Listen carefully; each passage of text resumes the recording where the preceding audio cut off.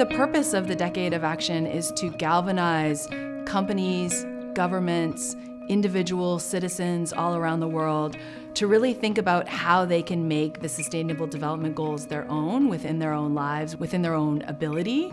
Um, and so it's really a chance to kind of build a movement of everyone from around the world to help us achieve the Sustainable Development Goals by 2030. The cost of inaction is exceeding the cost of action. Climate change today is already costing us $5.3 trillion. That's less than it cost us to implement the overall Sustainable Development Goals. Holding women back is costing us $28 trillion. That's far more than what it cost us to implement Sustainable Development Goals. But look at it uh, positively.